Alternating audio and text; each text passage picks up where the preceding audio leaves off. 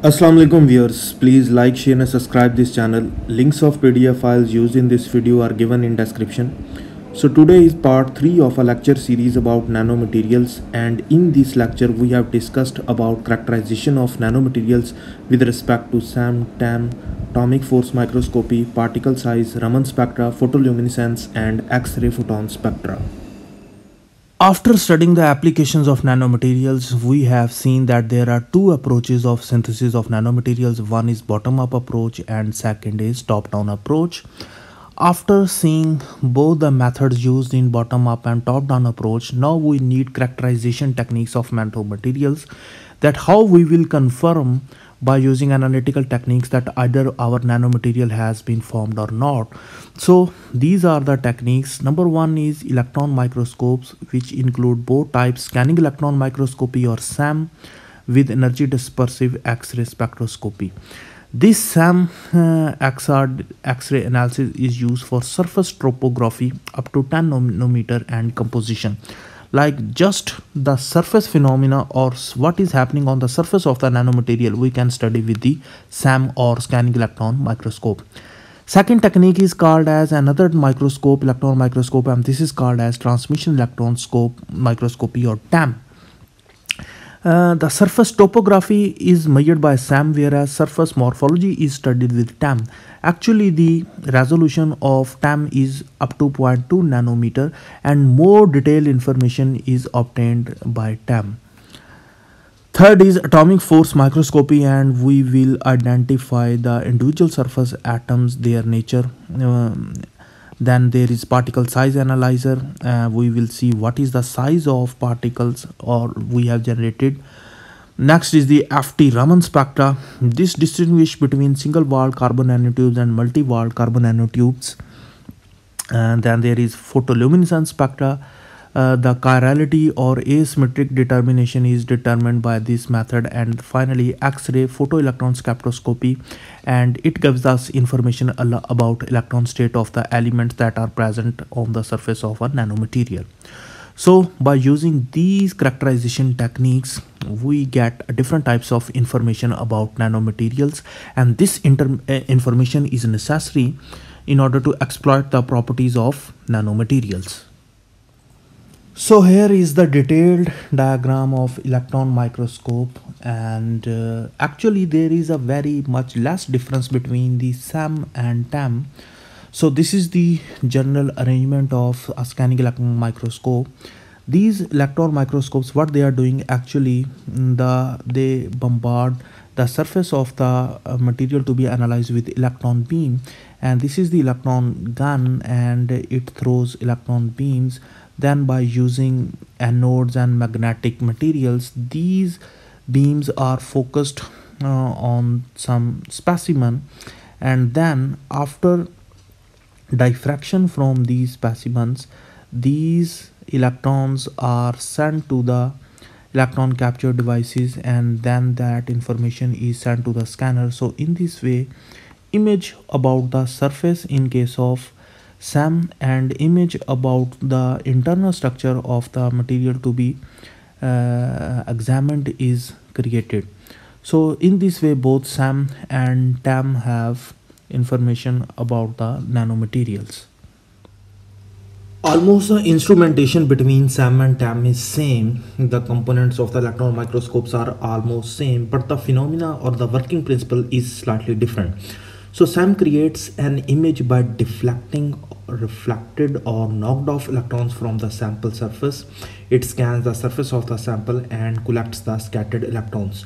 Whereas in TEM or transmission electron uh, microscope, usually the transmitted electrons means the electrons which are passing through the sample are used to create an image. So it provides valuable information about the inner structure of the sample including crystal structure, morphology and the stress.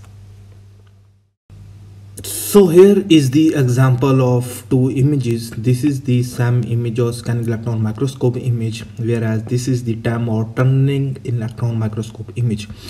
Here we are seeing the surface morphology of different nanoparticles whereas here we are seeing the cross section or even the inner structure of the substrate or substance which is placed under the microscope. Next characterization technique is called as atomic force microscopy or it is also called as AFM. It is a powerful tool for imaging and analyzing surface at the nanoscale. The working principle of this is that it uses a sharp tip as this is the sharp tip which is placed on the sample which is to be analyzed and when this tip is scanned very close to the sample surface within a few angstrom of the sample surface repulsive or attractive forces develops between the atoms on the tip and those on the sample. The cantilever this is the cantilever shaft is bends due to these interactions and this bending is indicative of the tip sample interaction force.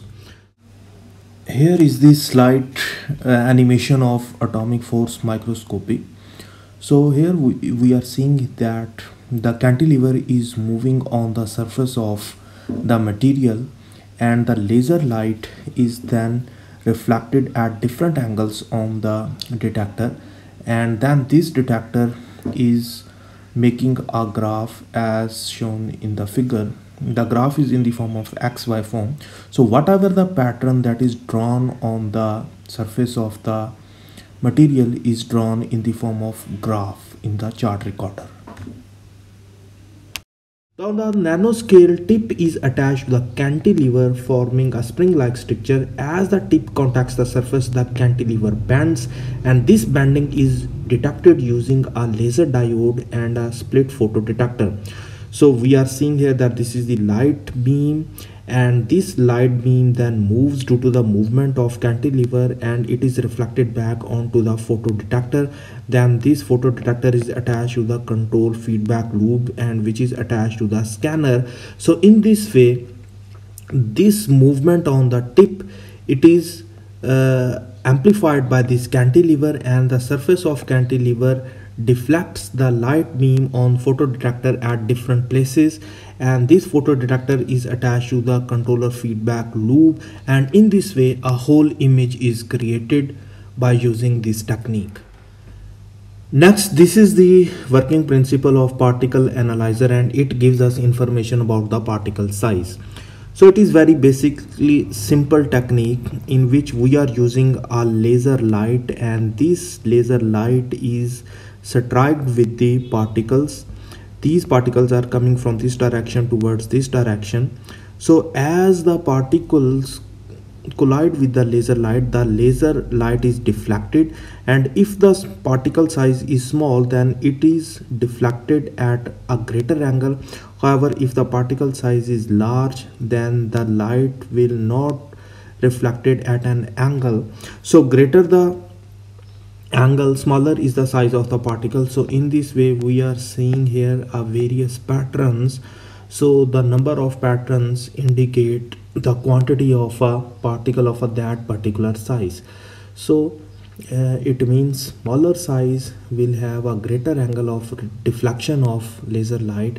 So in this way we calculate different particle size of nanomaterials Next characterization technique is called as F FT Raman spectra or Fourier transfer Raman spectra. This technique is very much similar to IR spectroscopy. The basic difference between the Raman spectroscopy and IR spectroscopy is that uh, the molecules which are inactive in IR actually can be studied by Raman spectroscopy like the molecules which are IR active will be Raman inactive whereas the molecules which will be IR inactive will be Raman active so both these techniques are complementary to each other. Uh, you know in the IR spectroscopy the basic uh, principle of uh, IR spectroscopy is that there must be some dipole change in the molecule if we want to have a signal in IR spectroscopy. But if we don't have dipole change then that's those molecules will be studied in Raman spectroscopy. It is very simple in principle like that we are using excitation laser for the vibrations or inducing vibrations in the molecules and as a result of which there are three absorption lines. This is this is the line which is less in energy is called as Stokes line. This is the line which is getting more in energy is called as anti-Stokes line. And this is the intensity of the line which is exactly as we are uh, expecting. So in this way the IR inactive molecules uh, are also studied by this Raman spectroscopy. And uh, in nanomaterials usually this technique is used for identification of single wall carbon nanotubes to multi-wall nano carbon nanotubes. Next technique is called as photoluminescence spectroscopy. And photoluminescence include both fluorescence and phosphorescence. Actually, uh, in this technique, the molecules is excited by absorbing energy and then it radiates back is this energy in the form of fluorescence and phosphorescence.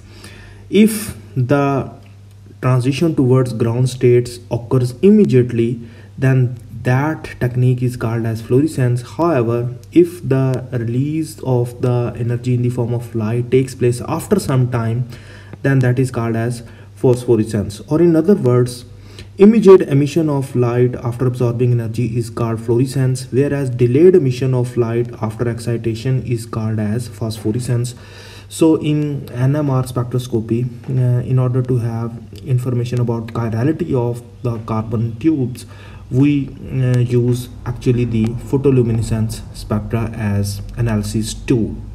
Last but not the least technique which is used for characterization of nanomaterials is called as X-ray photoelectron spectroscopy. So in this technique actually we are using again X-ray as a source of electrons and these electrons are striked on the surface of the material which is to be analyzed and then uh, here on the surface the electrons are excited and then they come to the ground state and they emit the electrons. These electrons are called as photoelectrons and then these electrons are passed through the detector to determine the uh, energy of these photoelectrons. So by measuring the binding energy of these photoelectrons we can have information what type of electrons are present on the surface of this material or what is the atomic structure of this material? Or even we can say either the material on the surface is in which electronic state? Or we can say that we ha can have information about the ionization state or the oxidation state of the material that is present on the surface of a material. So this is the way we are using X-ray photoelectron spectroscopy in order to characterize the surface uh, atoms of the nanomaterial. So these were all the characterization techniques that we are collectively using in order to have information about the nanomaterials. Whenever we have information about the surface phenomena and what is the nature of materials present on the surface of a nanomaterial, then we are able to exploit this information to make a very useful applications from these nanomaterials. So this was all about today's lecture. I hope you have well understood this lecture. But if you have any question, let me know in the comment section. I will respond as soon as possible. Okay, thank you. Allah Hafiz.